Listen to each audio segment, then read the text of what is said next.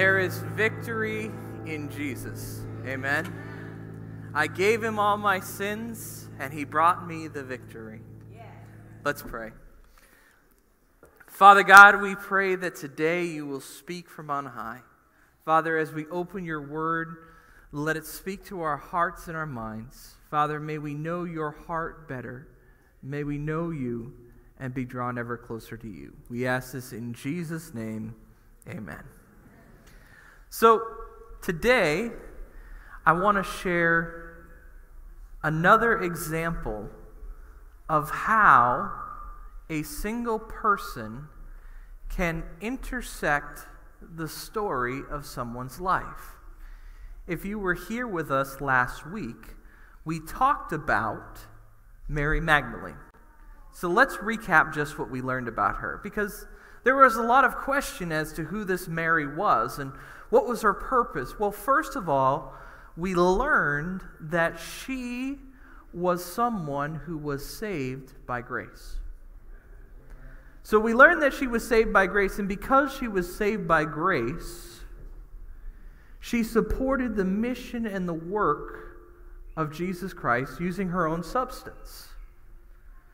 And so, because of that, we talked about how she was one of Jesus' disciples, how she told the story of Jesus Christ everywhere she went. And so, the, the fourth thing that we learned about her was that she was a witness to the death of Jesus Christ, that she was there at the cross and she watched her Savior die. But I'm so glad that the story doesn't end there. Because not only was she a witness of his death, she was also a witness of his resurrection.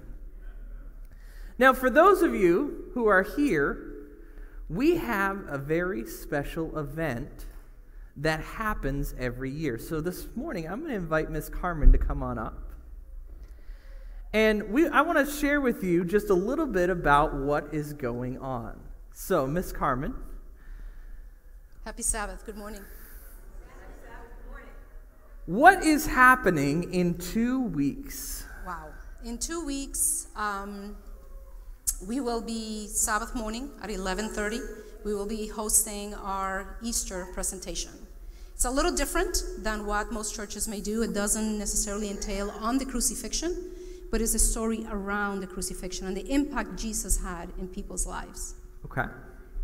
And so that's going to be in two weeks. Mm-hmm. And so one of the things is we want you to invite your friends and family. Yes, we do. And for those of you who are online, if you're able to make it here, um, we normally have a full house. We do ask you to arrive early, at least by 11, so you can have a good seat.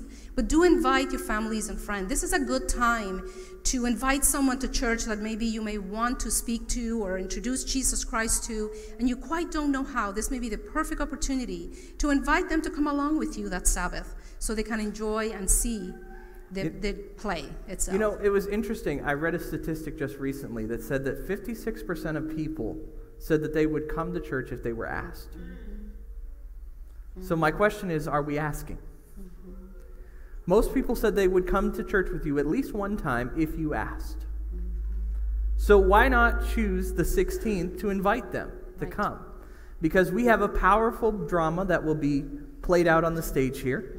And so we're looking forward to having you come. Now, there's something special that we do with flowers this time of year. We do, we do. We are looking for 20 volunteers, as we've done in the past, to donate $5. What we do is we buy Easter lilies that we use throughout the church to beautify the stage and the church. And then after the concert, Sabbath evening, you get to take those flowers home. So, in essence, we're asking you to donate $5, let us borrow your flowers, and then you get to take them home Saturday evening after the concert. Now we do have a concert that Saturday evening, and that is at 6:30. 6:30, and that will be a praise and worship concert. So we want to invite you to come and praise and worship with God that day. Mm-hmm. Thank you, Ms. Thank you. For those of you who are interested, see me after church, please. Thank you. At this time, we're going to have the video for our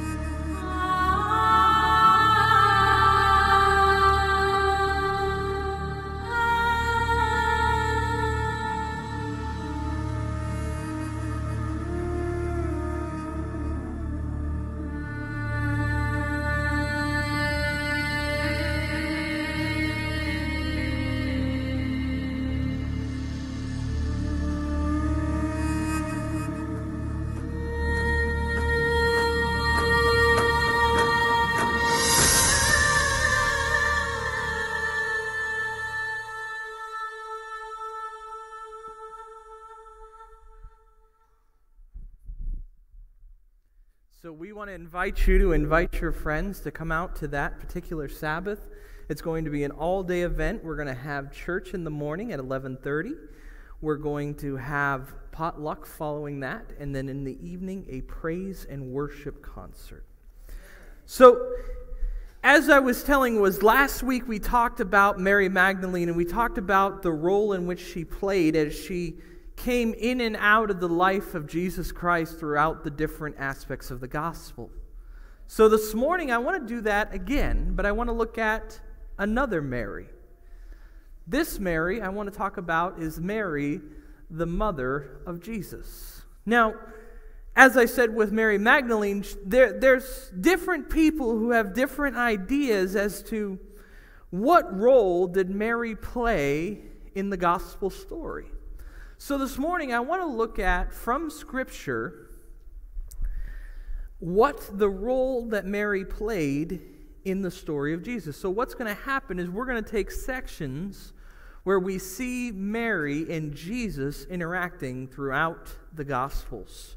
So, if you have your Bibles with you, we're going to open them up to Matthew chapter 1, and we're going to begin in Matthew chapter 1 and verse 18.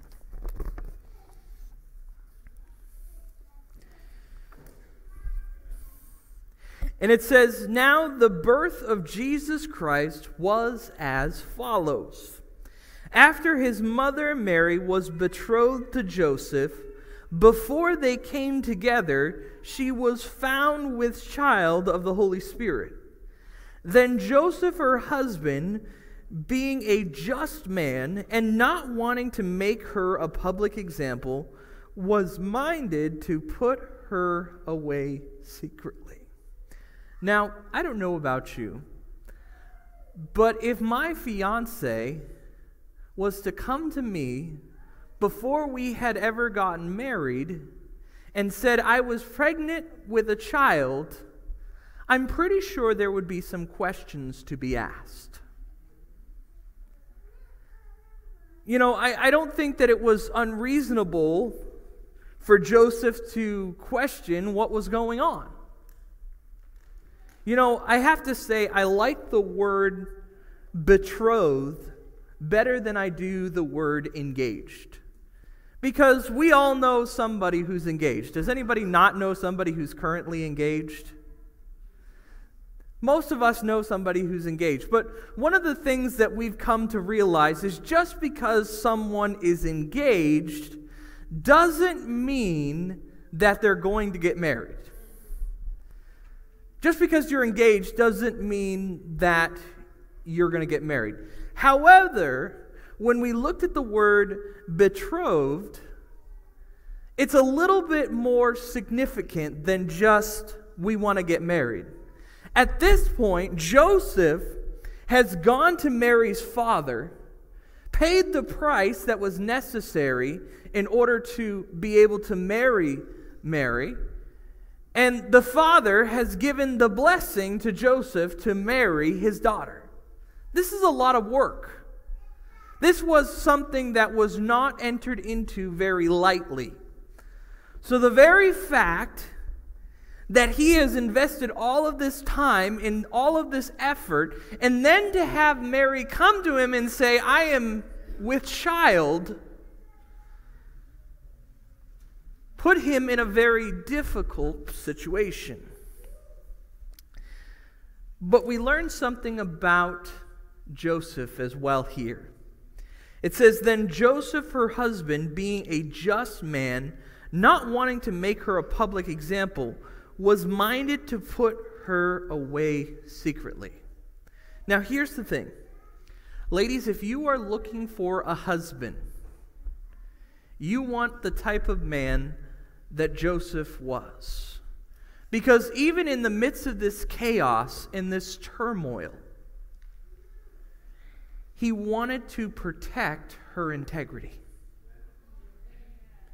He could have made her an example.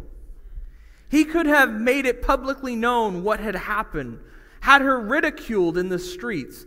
But instead, because he was a just man, he had mind to put her away secretly. even in this chaos, he protected her integrity.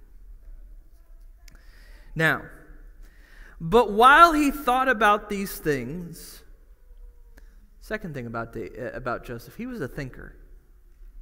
He pondered things. It said, But while he thought about these things, behold, an angel of the Lord appeared to him in a dream, saying, Joseph, son of David, do not be afraid to take to you Mary, your wife. For that which is conceived in her is of the Holy Spirit. And she will bring forth a son, and you shall call his name Jesus for he will save his people from their sins. Now, I can tell you, I can be rather thick when it comes to what it takes to get into my brain. You can ask my wife. But I feel like if I was Joseph in this situation, I would need an angel of the Lord to come and tell me this. Because again, if my fiance said, I'm pregnant and it's the baby of the Holy Spirit, there would be some questions. I would need a sign from God to know that this was the truth. And so Joseph here received his sign from God. So all this was done that it might be fulfilled which was spoken by the Lord through the prophet, saying, Behold, the virgin shall be with child and bear a son, and they shall call his name Emmanuel, which is translated God with us. Then Joseph, being aroused from sleep, did as the angel of the Lord commanded him, and took to him his wife and did not know her until she had brought forth her firstborn son, and he called his name Jesus. So, in looking at this section of Scripture, we see that the Holy Spirit came and spoke to Joseph just as he did with Mary and told him, This is what is going on. Now, one of the things that I hadn't really thought about was what was Mary going through in society? Just because Joseph now believed her, they, they, they brought their marriage together and followed through, but I guarantee you there were still people who were talking. I guarantee you there were still people who didn't believe what Mary and Joseph said. It wouldn't be the first time in history that someone said a baby was conceived through the Holy Spirit. Now, this is the first time it's actually happened. But it wouldn't be the first time that that story had been told. But yet, here was something that was very interesting. They still had to live in the world that was talking about their relationship. Now, if you've ever been to a church anywhere, at Christmas or Easter, You've heard the story of Jesus' birth riding on a donkey, going to Bethlehem, no room in the inn, having to stay in a manger, being born, the wise men the angels, the story of the birth of Jesus. And so that's really our next step in terms of what happens here in our story they marry, the baby is born, and then they have to fly, they have to flee to Egypt. Now, after they flee to Egypt, there's actually not a whole lot about the childhood of Jesus.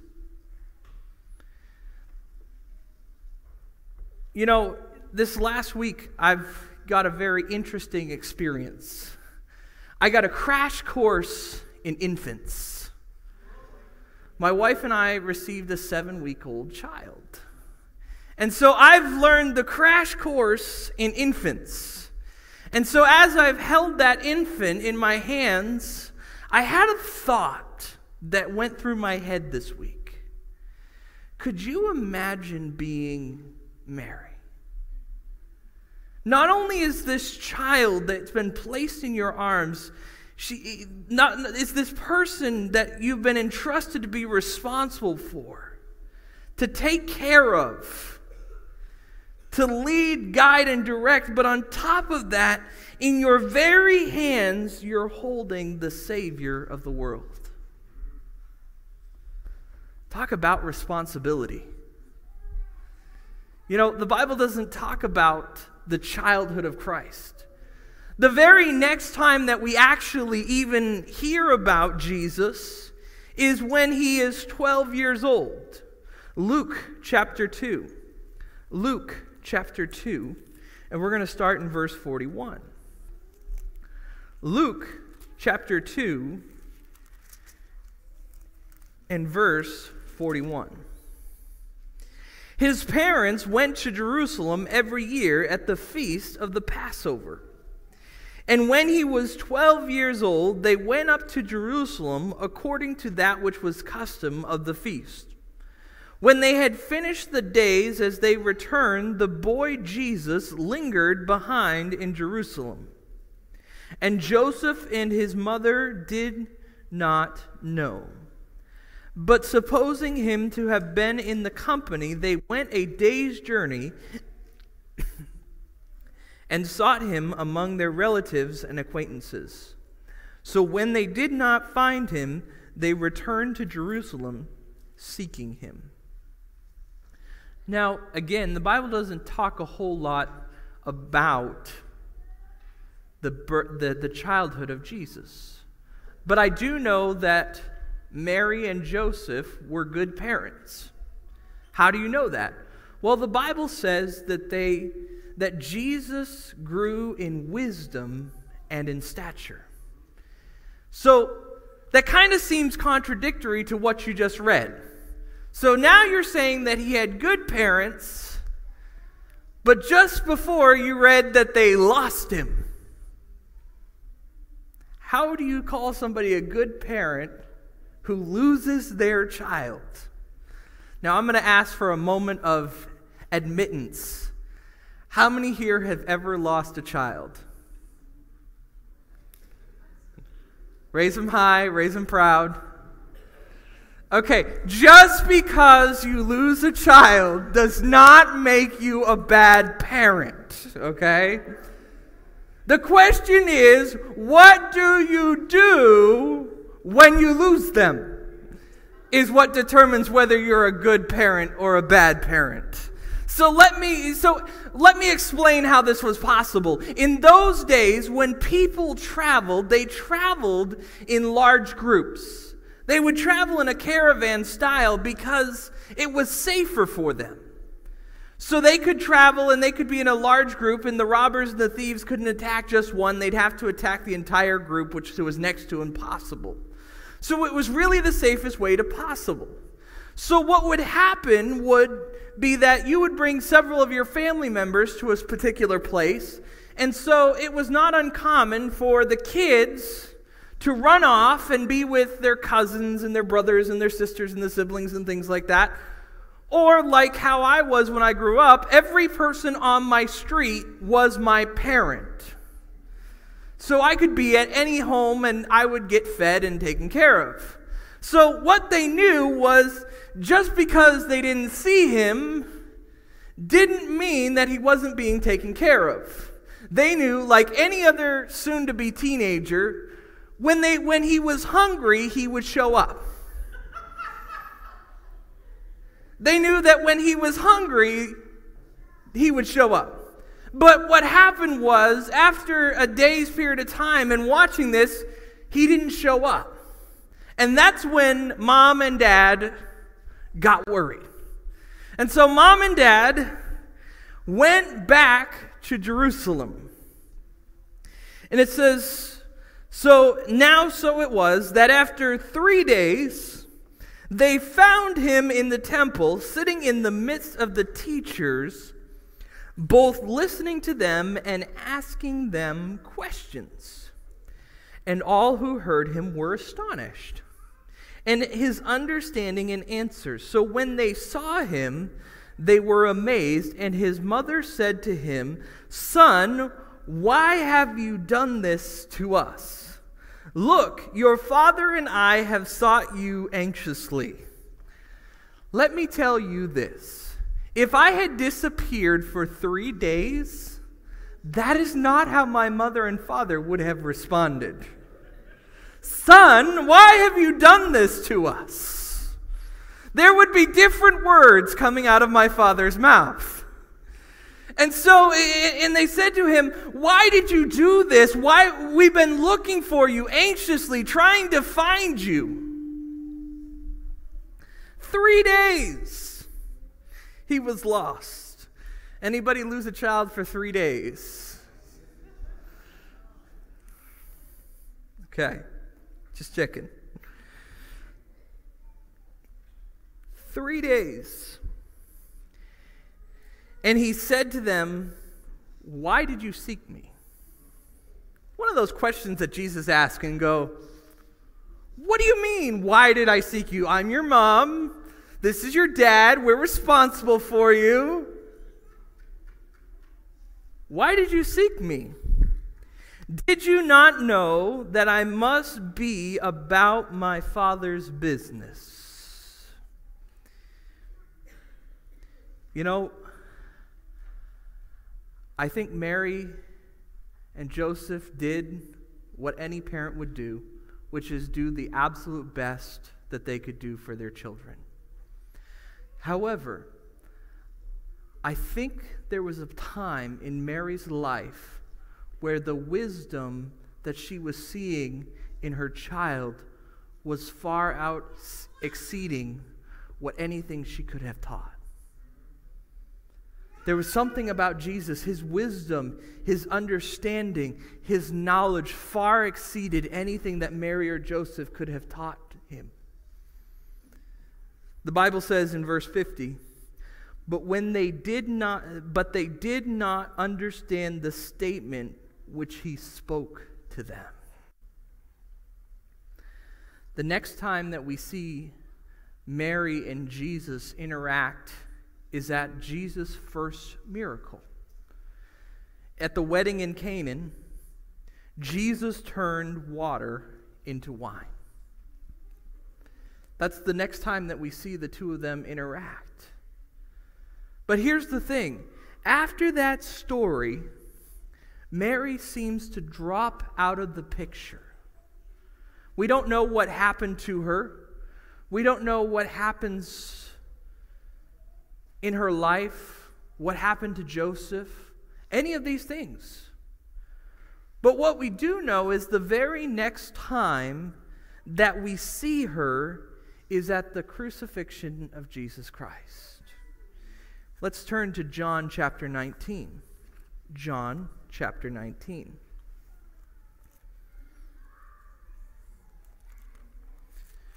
John chapter 19 and starting in verse 25. Well, actually, I want to read a little bit before that. Verse 23 Then the soldiers, when they had crucified Jesus, took his garments and made four parts, to each soldier a part, and also the tunic. Now the tunic was without seam, woven from the top in one piece. They said, therefore, among themselves, Let us not tear it, but cast lots for it. Whose it shall be, that the scripture might be fulfilled, which says, They divided my garments among them, and from my clothing they cast lots. Therefore the soldiers did these things. Here's probably one of the most selfish things that you can see recorded in Scripture. Here is a man who is dying on the cross, and literally the guards who were supposed to be watching this and carrying this out are dividing among themselves his very clothing. The Bible says that they cast lots. Another term to say that is they would have rolled the dice to see whose fortune it was to receive the tunic. And so, in doing this, we see one of the greatest examples of selfishness in all of Scripture. But at the same time, we also see one of the greatest examples of love. Verse 25. Now there stood by the cross of Jesus his mother, his mother's sister, Mary, the wife of Clopas, and Mary Magdalene. When Jesus therefore saw his mother and the disciple whom he loved standing by, he said to his mother, Woman, behold your son. And when he said to the disciple, Behold your mother. And from that hour, that disciple took her to his own home. So here is Jesus in the midst of chaos, literally dying a thief's death upon the cross. And so as he's there, he looks down on his mother and he has love and compassion for his mother. That's why when he saw her and he saw the disciple in whom he loved, he said to that disciple, Mother, this is your son, and son, this is your mother. He wanted to make sure that Mary was taken care of because he still loved his mother.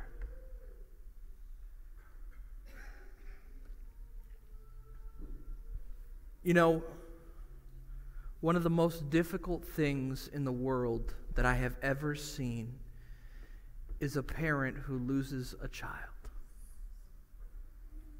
As parents, we were never designed to outlive our children. We were never made for that. The mind can barely handle the concept, never mind the reality. But here was Mary watching her child be crucified. That can't be anything but heartbreaking. Watching your child suffer and die.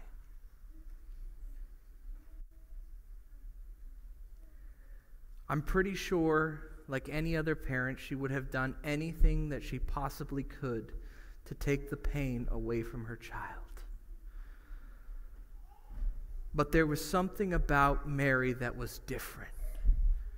Mary was a disciple of Jesus Christ as well.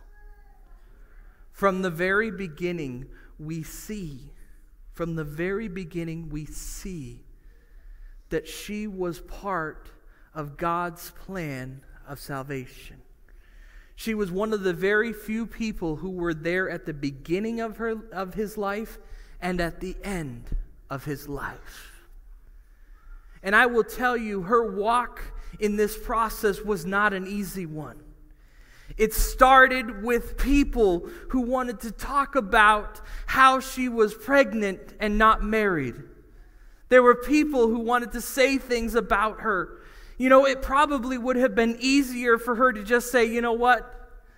I slept with some man and that's why I'm pregnant that would have probably gone over easier in society. But she chose to stand firm to the Word of God. The promise that the child that she held in her hands was going to be the Savior of the world. That the Holy Spirit would move in such a way that people would come to know this child as the Savior that was come to take away the sins of his people. You know, I'm sure she enjoyed many incredible experiences with Jesus as he was growing up. And just like any child to a parent,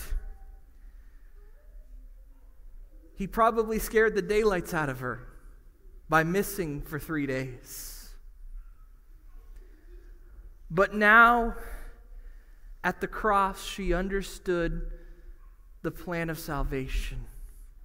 That even though she didn't want her son to die on a cross, he had to do so to finish the plan of salvation. He had to become the sacrifice that was necessary, the lamb that was spotless and without sin. He had a role that he must play. So, in that same moment at the cross, there was both joy and sadness. Sadness because this was her son, her child, and here he was dying a thief's death. But joy because he was doing so to take away the sins of his people to connect us back with our Heavenly Father, to allow us to have a heavenly home. He was doing all of these things, and Mary, as a disciple of Jesus Christ, knew this. Better than anyone, she knew the plan that God had for her child. But I am so thankful the story doesn't end there. Because on the third day, Jesus rose from the grave. And so now there's a new story being told. It's not the story about, let me tell you about what I've seen or what I've heard. Let me tell you about my son, the Savior of this world. Let me tell you what I went through. You know, I once had someone tell me the only thing that someone can't debate is what Jesus Christ has done for you. And that was the story that Mary told. Let me tell you about my son.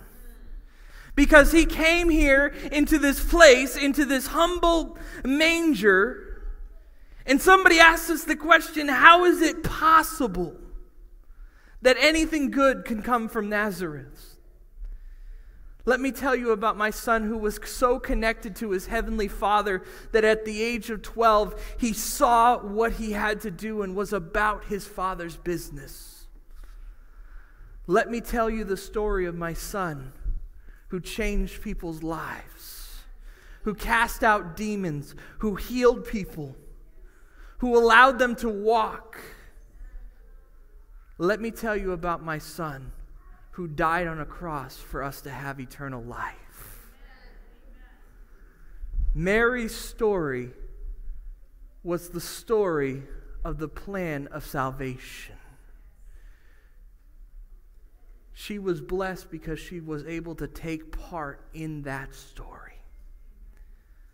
You and I have the same opportunity to take part in that story because I believe with all my heart that Mary was committed to the mission and the work of Jesus Christ. She was committed to the idea that the mission of God was to seek and to save that which was lost. And so she went around telling people from place to place this story of the love of Jesus Christ. We have the opportunity to do the same, to tell this story to the people around us that God is still in the business of changing hearts and minds. He's still in the business of changing people's lives and circumstances. And no, there's nothing that should keep you from your God. No matter who you are, where you come from, what you look like, how you talk, the way you act, none of those things matter. Because Jesus sees you in the light of the gospel. He sees you in the term of who you are in Jesus. So, who was Mary? Mary was quite simply the person who found favor in God's eyes, who played an integral part in the plan of salvation.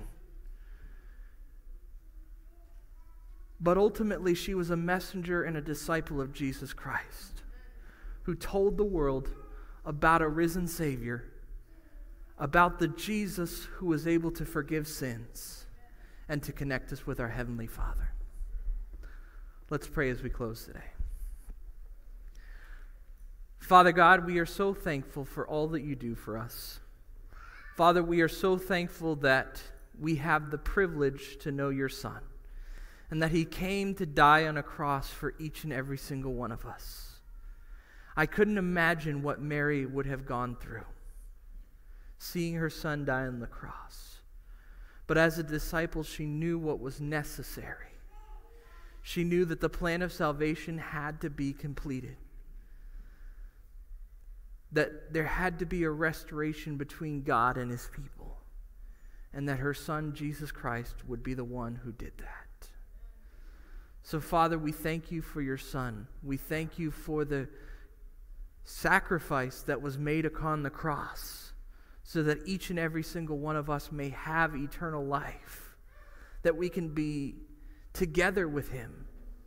That, Father, we have the opportunity to come to grace and Father, we pray today that our hearts and minds may be right with Him.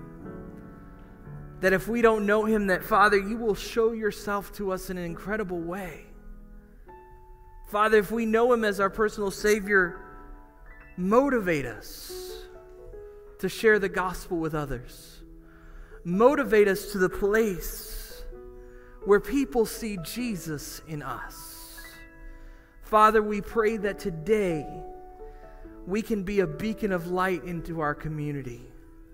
That, Father, now as we leave this sanctuary, that, Father, we will see each person that we come into contact with in the light of your everlasting gospel. That the message that Mary shared with the world, let me tell you about my Savior, may be one of grace, truth, and love. Father, we pray for that day when we will be home with you. Father, keep us ever faithful. Keep our hearts and our minds focused on you. And Father, may we lead others to the cross. That is our prayer in Jesus' name. Amen.